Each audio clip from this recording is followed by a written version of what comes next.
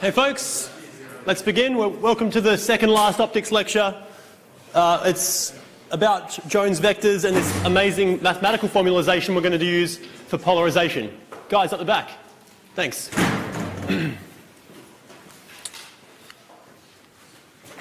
Last time we returned to vectors, the vector nature of electromagnetic radiation and thus the vector nature of light we looked at the relationship between the wave vector k, which way it's going, um, and the electric and magnetic fields. We found they made an orthogonal coordinate system. We also took our generalization and said it doesn't matter uh, which particular direction it is, let's just call the wave vector's propagation z, and that allows us to write the electric field vector as a sum of these two orthogonal components. We don't need a third one because um, light is a transverse wave, so it only has electric field components uh, transverse to the propagation direction. Because the light is monochromatic, we can then substitute in specific functions for the electric field component along x as a function of z and t, and the electric field component along y as a function of z and t. we got these expressions, and we wanted to think about what the dials in these equations are. Well, for a given wavelength, the wave vector, its modulus, and the angular frequency omega are fixed. And a state of polarization is going to be defined, or at least categorized, by the curve that the tip of the electric field vector makes as it propagates through space and time. And we can choose to do this in a number of ways. We can choose to fix z and vary t, or fix t and vary z. And the polarization state is literally just dictated by the shape that the, curve, the vector traces out.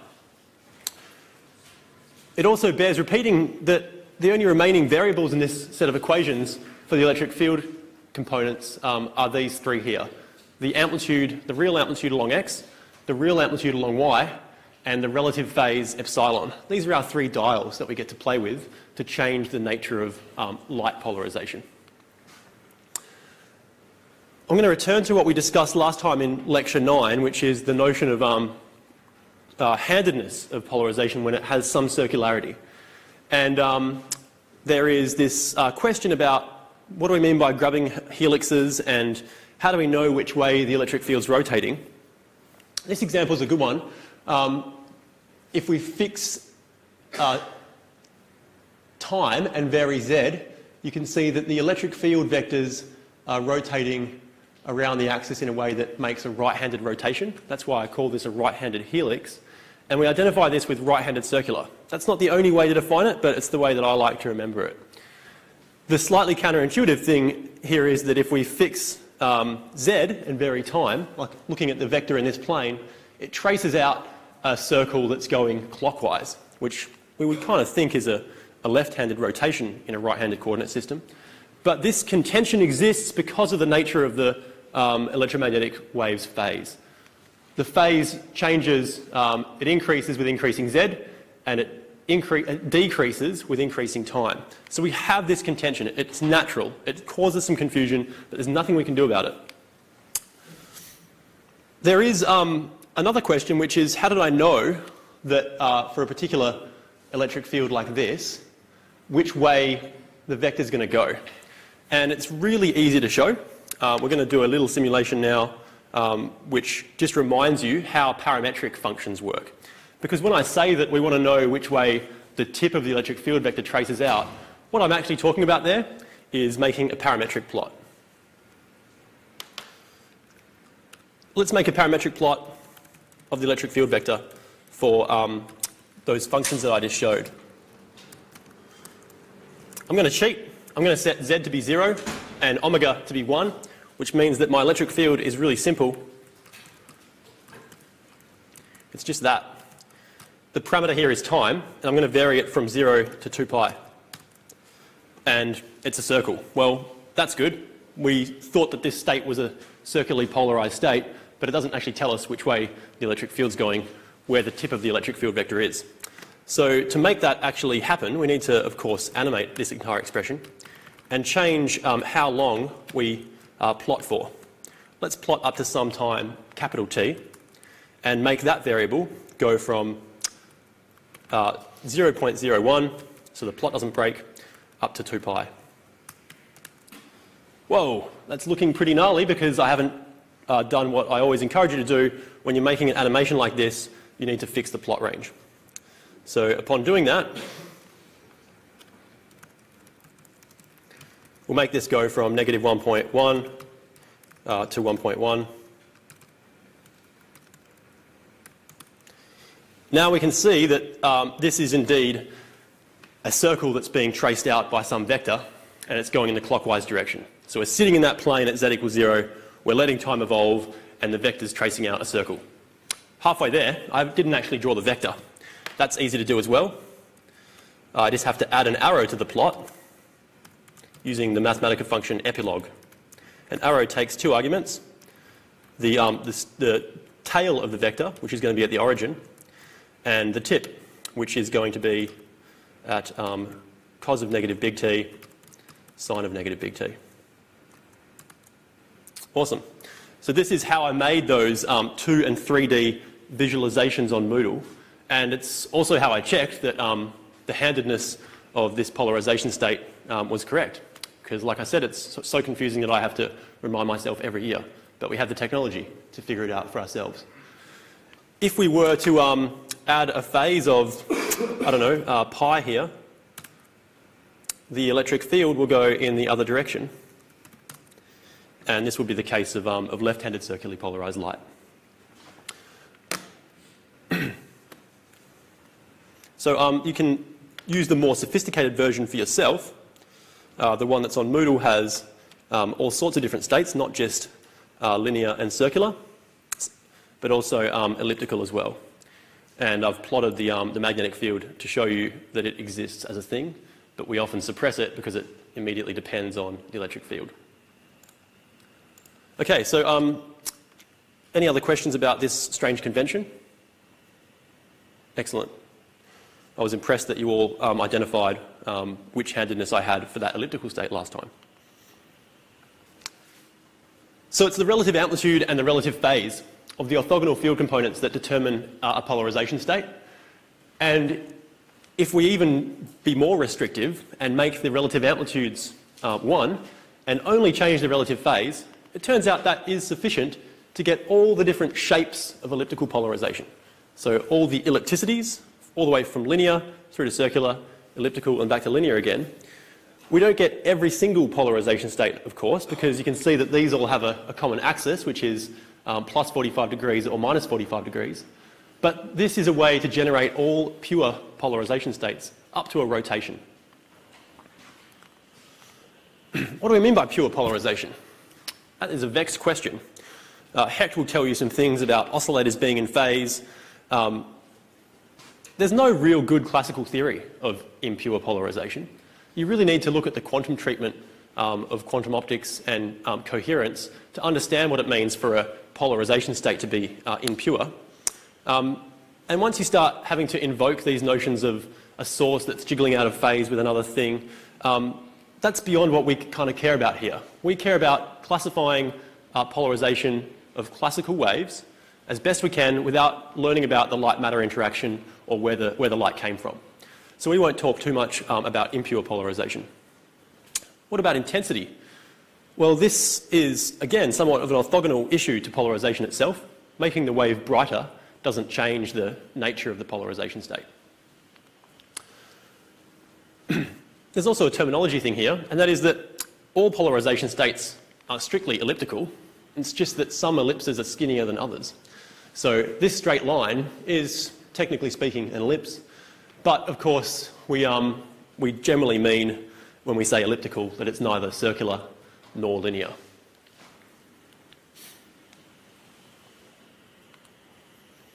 Another question um, I had, which uh, is a good one, is how does this handedness change when we go uh, through this uh, angle of uh, pi on 4?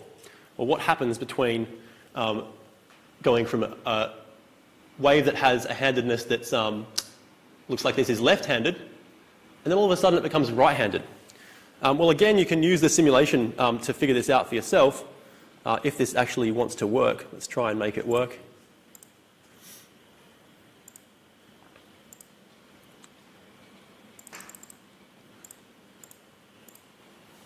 So here, I'm going to see that the wave goes, oh, that's not really working that well. We could actually probably try it with, um, with the Mathematica demo, I reckon. So let's um, now change the phase here. We need to make um, one change to the relative phase. I am going to do something I've never done before and try and wrap and animate in a manipulate. Wish me luck. Thanks. So we're going to make this um, epsilon go from um, 0 to pi. That should be enough to see something interesting.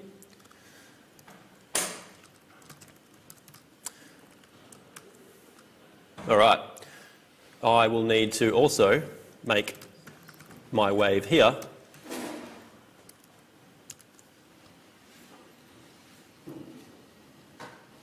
uh, come on, Mathematica.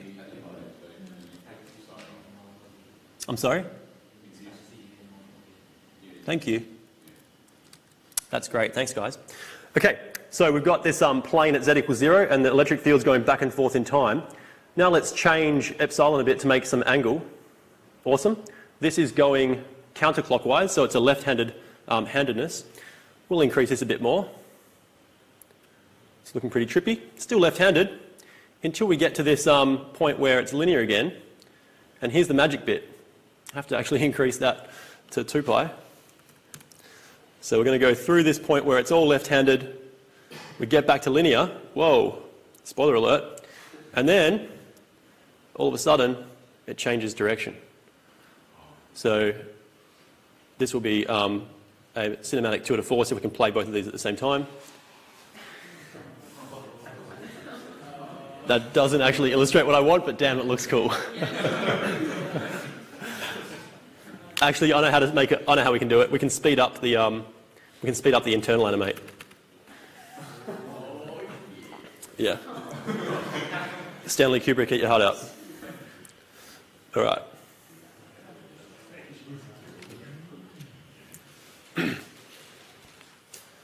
so you can see this for yourself in the interactive polarization demos on Moodle. Those um, different elliptical polarizations we could generate just by changing one of the three variables um, only gave us those um, ellipses that were restricted to being along 45 degrees.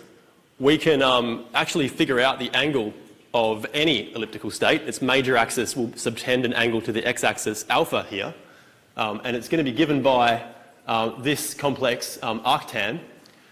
You can see it depends on the two real electric field amplitudes E naught x and E naught y, um, and epsilon, so it depends on all the dials in our equation, as it should. And um, it reduces to something pretty simple in the case of the electric field amplitudes being equal. It must reduce to either positive 45 degrees or negative 45 degrees. But the point is that for any arbitrary E naught x, E naught y and epsilon, you can figure out the orientation of this major axis. You can also figure out the um, relative amplitudes or the eccentricity, and that's an exercise for you to do in the final optics tutorial. So we come to this um, probably unsurprising uh, notion that we want to describe polarization by vectors, and we want to boss those vectors around with matrices. This is the theme of the course. Um, it's about linear algebra. It's not just something that um, Tim Garoni, Tim Garoni for life, taught you, but it's also very, very useful in the physical world. So a state vector description is going to um, do this for us. And don't just think that this is limited to um, second year optics. State vectors being used to describe a system and being transformed by matrices are common to heaps of fields.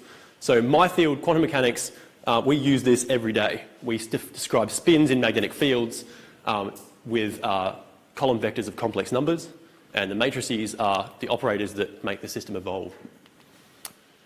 It also describes the propagation of neutrinos through the Earth. They are spinful particles. They have these things called mass eigenstates. And the mass eigenstates actually change character as the neutrino passes through the Earth, passes straight through us. And this too is described by very similar matrix mechanics. Modelling traffic, um, modelling the stock market, and modelling the spread of a virus is all done using a system described by matrices and matrix transforms. This is a very common theme, um, and hopefully you've got a small taste of what it's like from the examples we've done in, um, in this course. So we're going to um, define this thing called a Jones vector. And we had these uh, real electric field vector E here, which was composed of um, real numbers. We're going to say that's equivalent to this um, complex representation. Again, just replacing the trigonometry with exponentials um, and taking out a common factor to leave us with these three numbers again, e naught x, e naught y, and epsilon. This is called the Jones vector. And yes, since the polarization only depends on the relative phase, we can pull out a common phase factor 5x uh, arbitrarily. So these numbers are all real, and when we compose them in this Jones vector, we make sure that we don't get it confused with the real electric field vector by putting a tilde on the top of the E uh, instead of an arrow. So this E tilde is what we're going to use as the Jones vector. You'll notice that it doesn't have any of the um, spatio-temporal dependence anymore. It's a very concise formal, formal description um, for a polarization state. So let's look at an example, um, going from the real representation to something complex. Uh, and we'll start with circular polarization. So the real representation of um, circular polarization we kind of just looked at, we plotted it in Mathematica.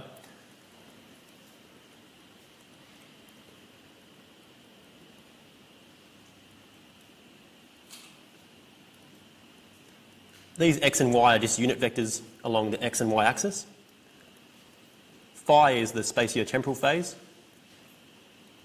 And I've chosen two signs here. The sign plus corresponds to right-handed and minus corresponds to left-handed. That's what we figured out with that animation. Because I'm trying to convert this into um, the real part of a complex number, I want to turn that sine into a cos. That's the first task I have to do to this expression.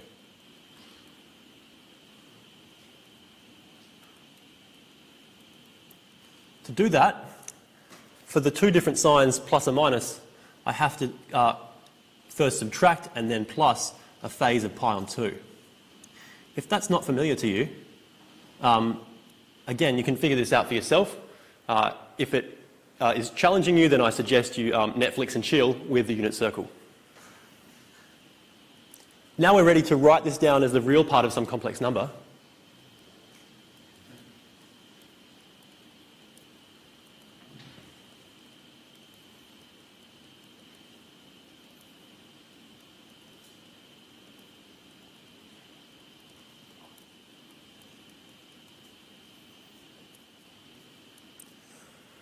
So far, we're just writing down the real electric field amplitude in different ways.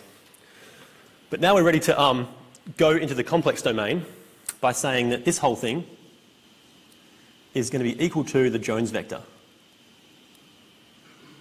So what's it equal to?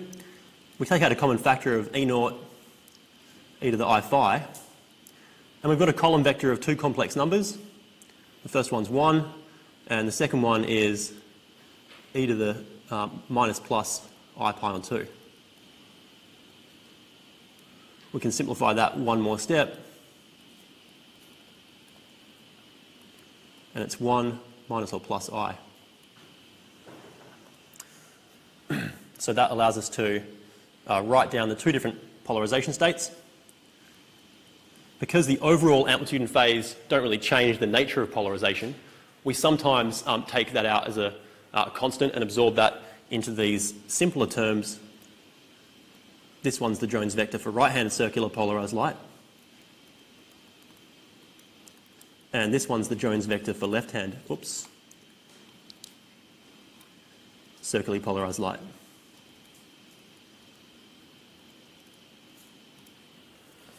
So this is a really nice way to get rid of all the spatio-temporal dependence and the trigonometric functions once more. Okay, if we took these two things and added them together, we'd get another animal that is a Jones vector. Jones vectors are complex vectors. The two elements have the same units, and that means we can um, add them together. They're closed under addition. Let's add these two together.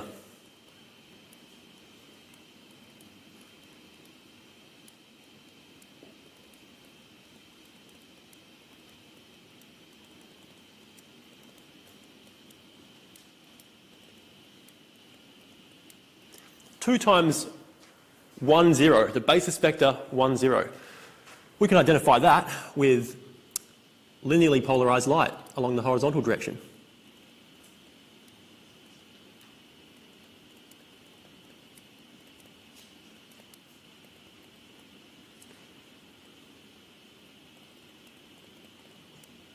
So that is just that one.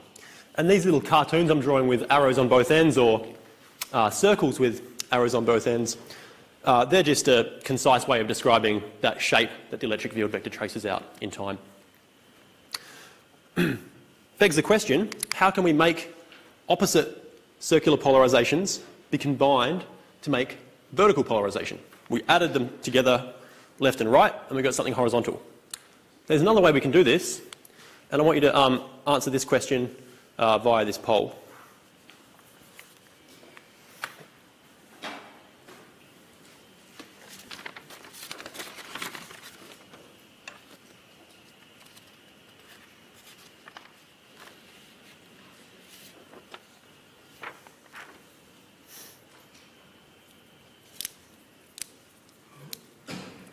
Is the poll open?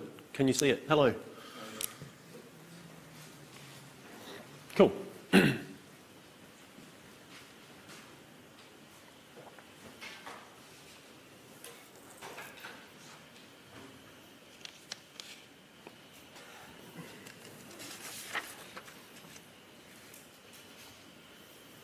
Whoa, people are changing their minds.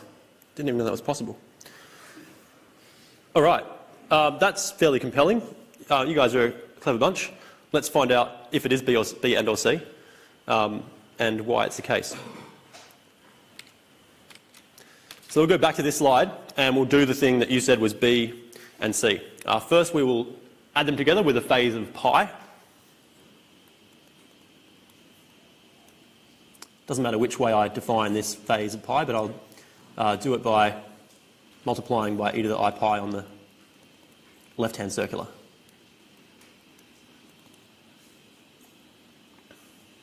That is nothing other than subtracting them, because e to the i pi is minus 1, one of Feynman's favourite equations.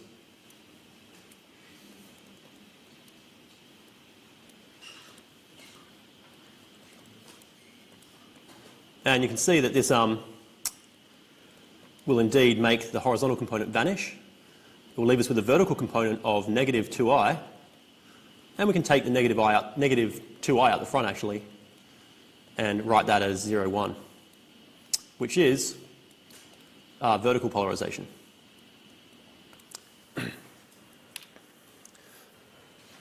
so adding these up in different ways can give us um, different types of polarization.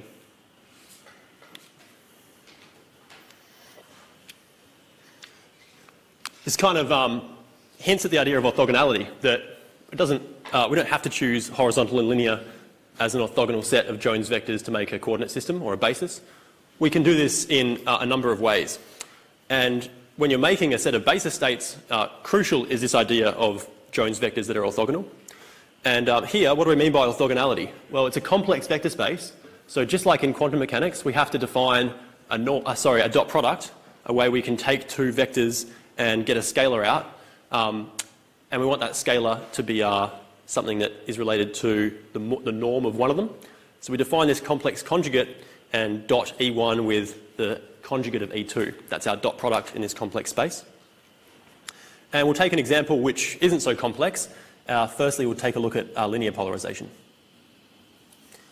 So in this case, we have, oh, sorry, I'll have to just close this, keep. Slideshow. So linear polarization will have uh, horizontal is going to look like this. Vertical is 0, 1. And this one's really simple. E1 dot E2 star is just 1, 0, dotted with 0, 1.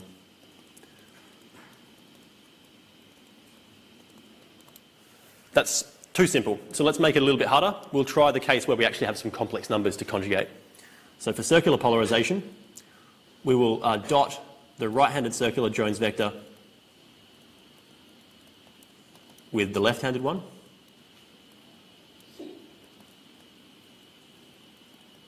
And remember, when doing so, we have to um, do that conjugation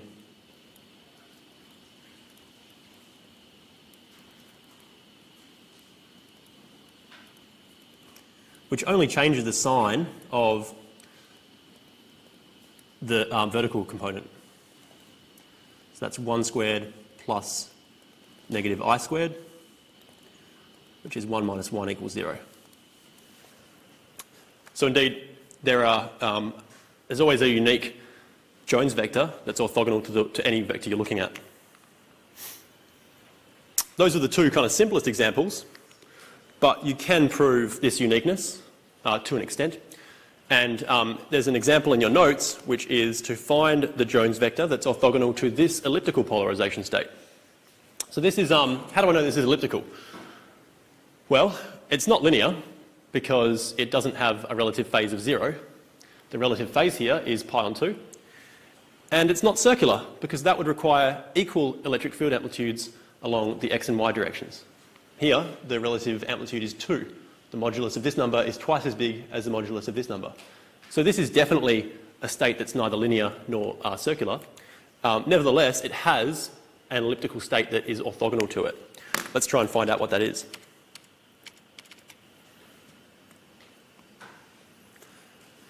The equation is a dot b star equals 0, but we're trying to solve for b. So the first thing we'll do is take the conjugate of um, both sides of that equation. And that'll tell us that um, a star dot b is also 0. We then want to write um, b in a form that gives us um, three numbers we can figure out the values of.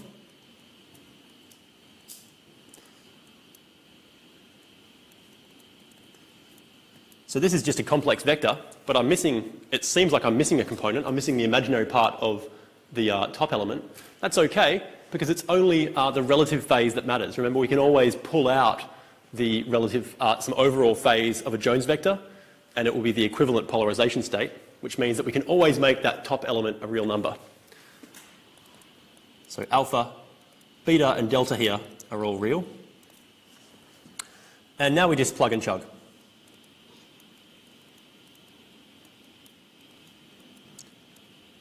So 2 minus i, that's what the conjugate of a is.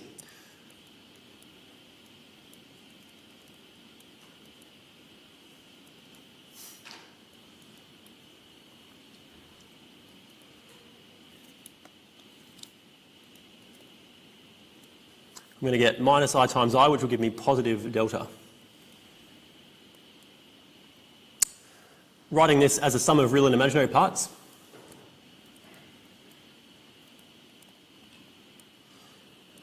This must be 0, and the real and imaginary parts are linearly independent. So I can say that this thing's equal to 0, and so is this thing.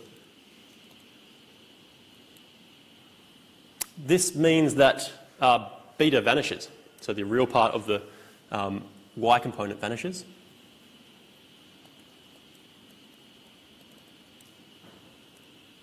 And what do we get from the other equation? 2 alpha plus delta is equal to 0. Looks like we're um, out of luck. We've got three unknowns and two equations. Let's persist anyway and see what actually um, happens. All right. So we're left with this relationship between the imaginary part of the y component and the real part. Um, let's just take an example where alpha was equal to 1. Uh, then we would have the B Jones vector would be equal to uh, 1 and negative 2i. Okay, that's just an example of um, one way we can satisfy this equation, but I'm allowed to choose any value of alpha I want. Doing so just scales the Jones vector by a constant, that's just a comment that this orthogonality is not entirely unique. It's unique up to some constant multiplicative factor, which is true of any um, two orthogonal vectors. I can always scale each of them and they'll still be orthogonal. So that's the, that's the Jones vector that's orthogonal to A. What do they look like? So you can also draw these two states in a number of ways.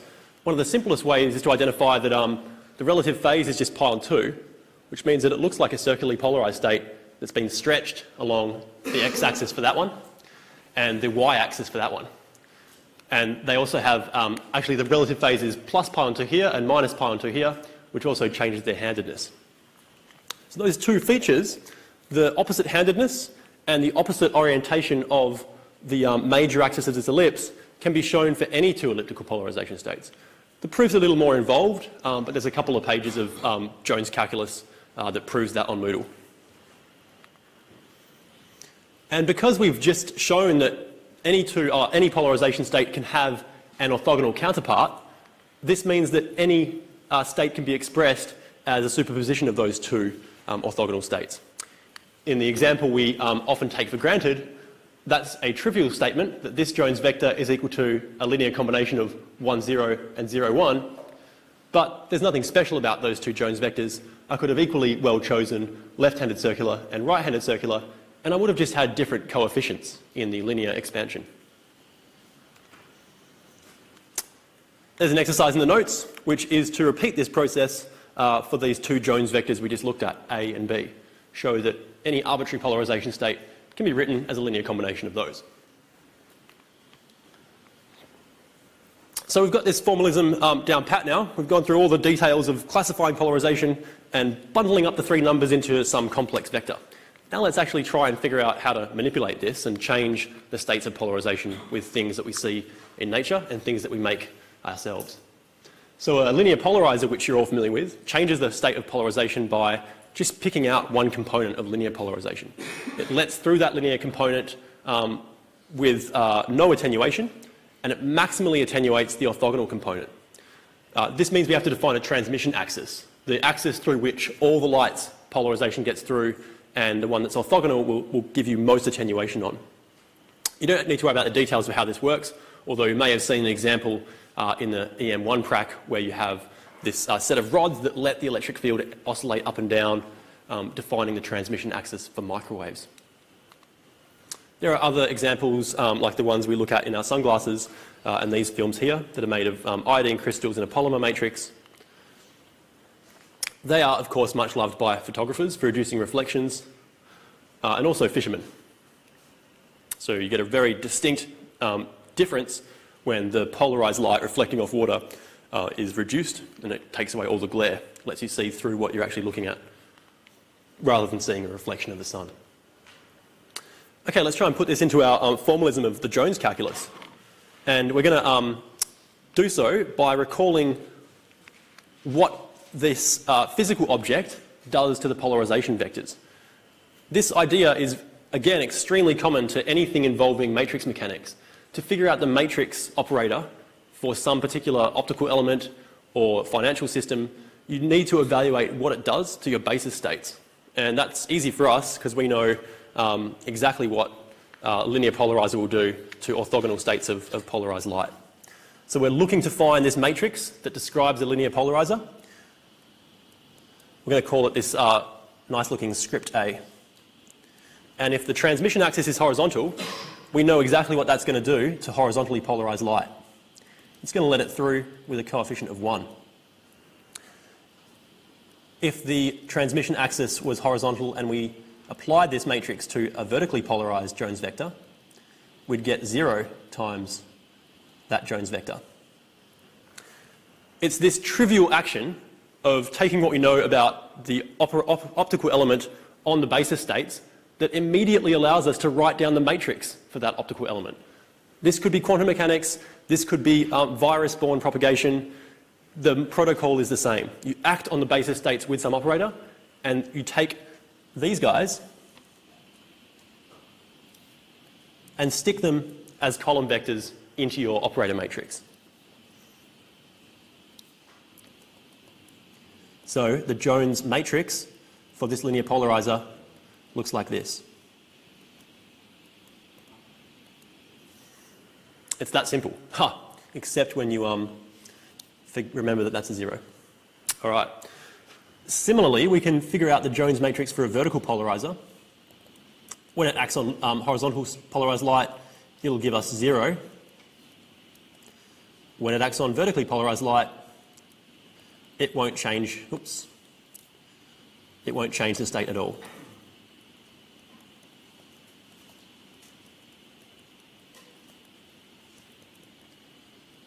So hopefully this is um, familiar to you from linear algebra. how to construct these matrix representations.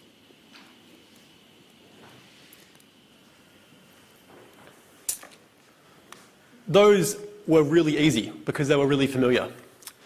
Now we want to figure out what happens when we actually look at an arbitrary oriented transmission axis. Uh, this is familiar to you from um, this thing called Malus's law, which you will have used in the Beatles experiment. And um, we uh, know that Hecht has this diagram of um, Malus's law, which considers natural unpolarized light two linear polarizers at some angle. I look at this and I just go, why? Why are you doing this in such a complicated way? We're just trying to get to the very simple statement of what happens when you send pure linear polarized light through an arbitrary oriented linear polarizer. So to this diagram, I cross out all that guff and we just care about some um, arbitrary input state to a um, polarizer or a well-defined input state to an arbitrary oriented polarizer.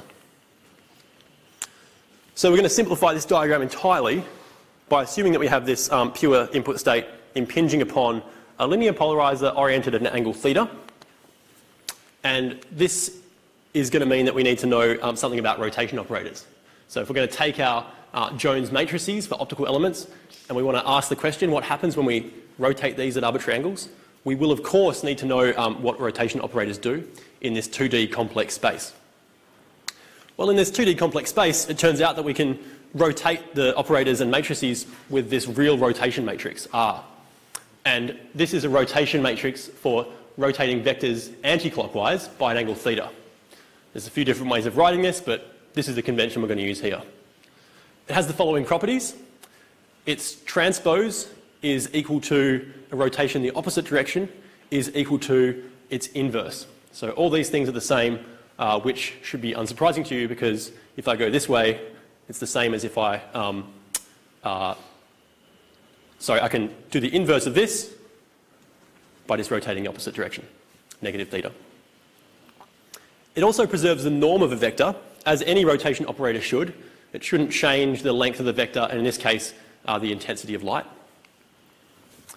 So um, you can show that quite readily. And um, if we actually carry these E naught x and E naught y around, then the norm of the Jones vector does give us the, um, the overall intensity. Uh, and that is readily showed using the rotation operator. Okay, so let's take Hecht's diagram and make it really, really, really simple. We've got this um, original coordinate system xy. We're going to take vertically polarized light, which has a Jones vector 0, 1, we're going to denote this as uh, Jones vector E in.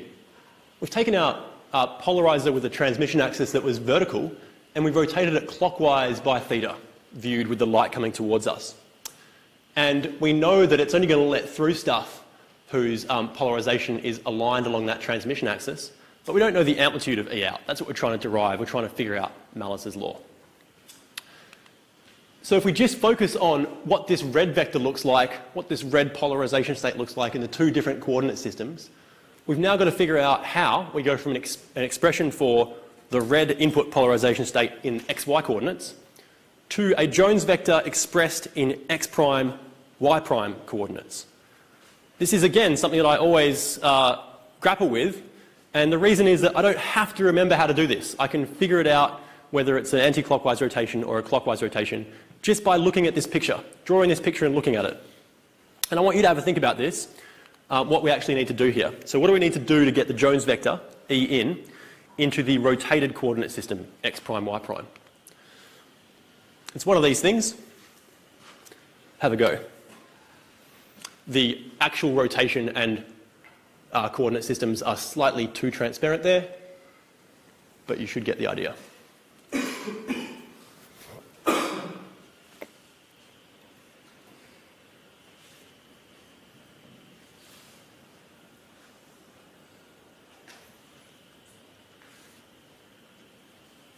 I don't mind if you talk amongst yourselves. In fact, you should.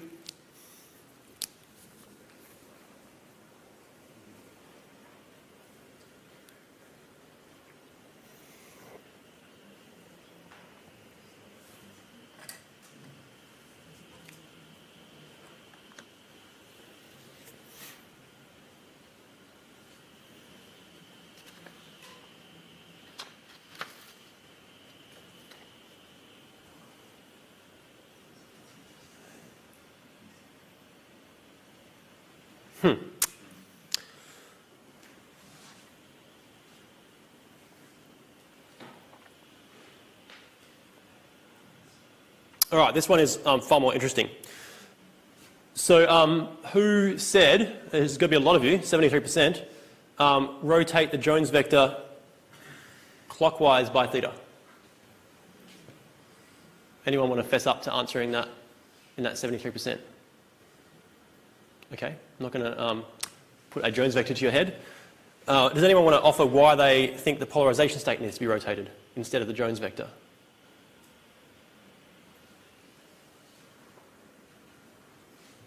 Twelve percent. Someone said it. Okay, you guys are a shy bunch today.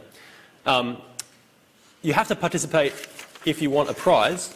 I have these cool little magic stripe polarization sets down here. Um, so don't be too shy. We're going to do an exercise in a second where you will have to do something. Um, but this question is, uh, is really interesting. Of course, it's going to be one of the two clockwise or anti-clockwise rotations. But first I want to talk about whether what we're actually rotating. And this is more of a conceptual thing. Um, the other answers only differ, the only permutations differ by whether we're rotating the Jones vector coordinates or whether rotating the polarization state. Coordinates of our Jones vector, let's look at some examples, are just numbers in a column vector, right? This number's AX and AY, they're describing some polarization state. But they're not unique. They depend on the basis you've expanded it into. So in the basis of uh, horizontal and vertically polarized light, yeah, it's AX and AY. But the same polarization state has different numbers if you were to express this in a different coordinate system. So you don't need to change a polarization state to get different numbers there. And in fact, that's what we're trying to do. We're trying to find out how to express the same polarization state in the rotated coordinate system. This is important. We're not changing the input polarization state at all. We're just changing how we write it down in terms of a column vector of two numbers. So it is definitely not um, either B or D. We're not physically changing the polarization state yet. We're just changing how we express it. So in that case, it's going to be um, rotating the Jones vector, which is not the polarization state. It's the polarization state expressed in some coordinate system, uh, by either clockwise by theta or anti-clockwise by theta. And here's where I have to um, go back to this diagram and always think about um, which one it is. So in this diagram, you can see that in the unprimed coordinate system, there is no x component of the red vector. It's all y. But think about what its x component is in the primed coordinate system. It's small and negative, and its y component is large, but not as large as it was in the um, unprimed coordinate system. So the fact that we've got a small and negative um, uh, x component and a smaller but still positive y component means that we've done what to the coordinates? We've actually rotated them anti-clockwise. So this is a passive transformation um, by using an anti-clockwise rotation in theta. That's the only way we'd get a small negative component um, in the coordinates x prime, y prime. It's a little confusing, but you have to think about these examples uh, with kind of limiting small cases to um, consolidate what you, um, what you suspect. Uh, and that means actually in our, in our quiz, the correct answer is D. So I've finally stumped you on one of these um, polls. Okay, so now we're going to actually... Um, sorry? Ah, that is true. 24% um, of you know what's up we're rotating the Jones vector anti-clockwise. It's C. Thank you. All right. We're going to try and derive Malus's law. But first we should remember what Malus's law is. I'm going to demonstrate Malus's law with my smartphone. Has anyone got any um, sunglasses here today? They want to volunteer for the demo. Yep. Thanks. Great. so here's a protractor uh, on my phone. It's actually just an image of a protractor. And um, if I stick these glasses here, I will see some uh, attenuation already. But Now let's see what happens when I change the angle. I get full attenuation when they're vertical. Back to the initial intensity here, and then full attenuation again. All right, so how, how many uh, degrees did I move the um, glasses through? Well, let's call this, um, let's call this one zero. I've rotated through 90 degrees, I get null, and back up to 180 degrees, and I get full intensity again. We could do this with a polarizer as well. So starting at um, with the uh, axis aligned horizontally, I get um, full transmission thereabouts up to the imperfection of this device. I rotate it by 90 degrees and get full attenuation, and then I rotate it again and I get full transmission again. So now I want you to draw, just from this empirical experiment, what the transmission is as a function of rotation angle, starting at um, theta equals zero being the case of full transmission. So we're starting there, doing that, and then doing that. So draw down in your book um, what the transmission as a function of theta is. And once you've got a graph of transmission versus theta, uh, then write down, eyeball the graph and, and write down the expression for it.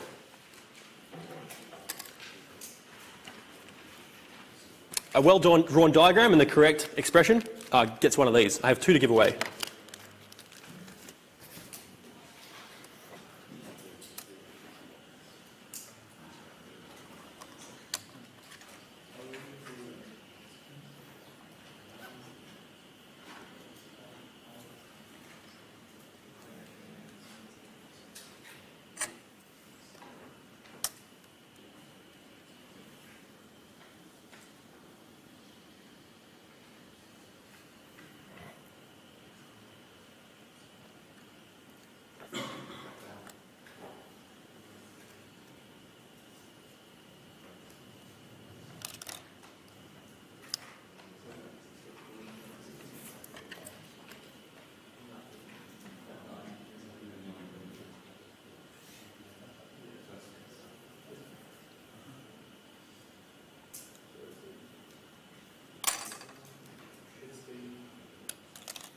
And someone thinks they've got um, a graph and an expression, raise your hand and I'll, I'll come and take a look.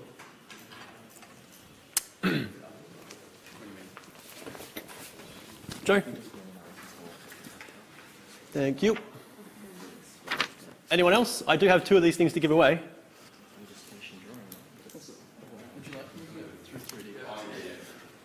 Yes. I love that you just have glasses you know, we use these to um, align our laser cooled atom trap. The exact same ones, yeah. Thanks. Awesome. Okay. Just because you've got a whiteboard and these are cool. Okay, so here's a couple of examples. Uh, actually, you've already done it. You even wrote the expression down. Fantastic. Um, we're starting at 1. You haven't labelled your 1, but yes, I imagine that you've got um, the right number there. Uh, you start at 1, go down to 0 at pi on 2, and back up to 1 at an angle of pi. That's correct. You can eyeball this and pretty quickly convince yourself it's um, cos squared theta. That's Malus's law. Joe's attempt, she first drew a negative intensity and then realised that was a bit silly, so she squared the whole thing and got I cos squared of theta as well. Um, that is correct as well, so uh, congratulations guys. You're going to get a set of these, and I'll show you why they're cool in a second. there you go. All right. Oops, sorry. I will take a look at these at the end. Thanks for the 3D goggles. But in the interest of time, I do want to show you um, what you can do with cross polarizers. So cross polarizers are great because um, you can uh, firstly, actually I will stick this in and see what happens. You can see stress in certain materials. Uh, hopefully you might be able to see it with this fork. But actually, what's really cool is um, if you just rotate this a little bit, you should be able to see the uh, actual thin film interference from, from this guy. Maybe the document camera's not showing up. There we go. But come back, come up at the end of class and have a close look at this. It's the exact same gradient as the soap bubble. Uh, and I've also got a set of sticky tape that's getting thicker as a function of distance, which also gives us that very familiar um, thin film interference pattern. So have a play with these later.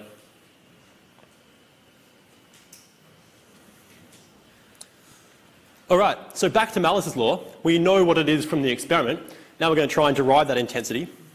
So we're going to um, figure out that only the, um, the orange bit gets through. We're ready to calculate the amplitude of the orange bit. Our job is to take into account the rotated coordinate system that's been moved clockwise by theta. transmit through what is now a vertical polarizer in the primed coordinate system. That's why we made our life easier. And then we can optionally rotate back to the original coordinate system. This is equivalent to that passive transformation I talked about, which is to rotate the Jones vector anti-clockwise by theta, transmit through a vertical polarizer again, and then rotate the Jones vector back into the unprimed coordinate system by an angle theta. um, when we do that, and we, um, we can figure out what the um, Jones matrix for a rotated polarizer is, uh, but the math is, um, is quite simple. So we've got E in in the xy coordinates is equal to 1, 0. E in in the x prime y prime coordinates is equal to r of negative theta times 1, 0. That's cos of negative theta, negative sine of negative theta, sine of negative theta, cos of negative theta, all acting on 1 and 0. Uh, we know what trig is, so we can write that down as cos theta, sine theta, negative sine theta and cos theta. And we'll get out uh, a vector that looks like this. Cos theta and negative sine theta. Okay, we're now ready to figure out what the output Jones vector is in the primed coordinate system.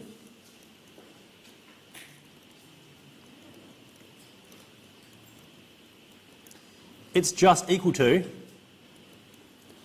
the vertical polarization uh, polarizer matrix acting on E in in the x prime, y prime coordinates. That is 0, 0, 0, 1.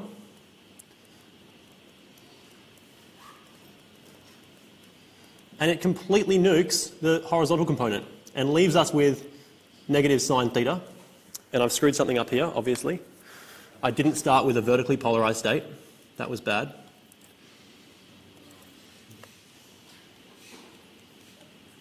They should be zero ones. Zero one, zero one, and I'm going to get a different matrix here. I will get sine theta at the top and cos theta at the bottom. That's going to leave me with cos theta, and now I'm ready to calculate the intensity.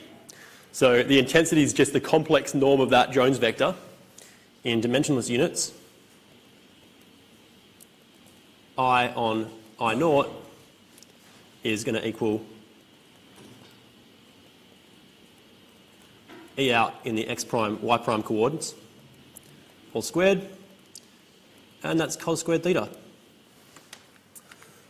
So the hard bit here wasn't doing that manipulation, the hard bit was just figuring out which way to rotate the coordinates. And we can figure that out by taking a simple example, a limiting case of small theta, and um, we just derived Malus's law.